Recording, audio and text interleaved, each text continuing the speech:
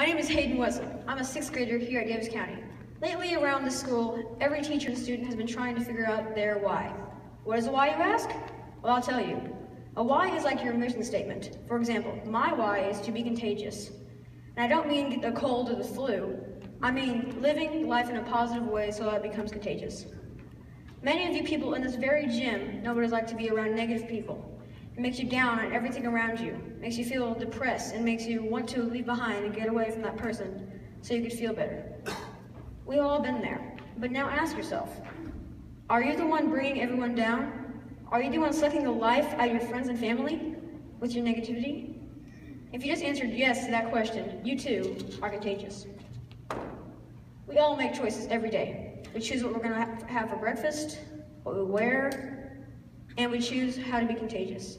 I myself choose every day to be contagious in a positive way. If I see you and you look sad, I'm gonna try to make it try to make you smile. Heck, maybe even make you laugh. If I see you and you're upset, I'm gonna make I'm gonna do I'm, I'm gonna ask you what's wrong.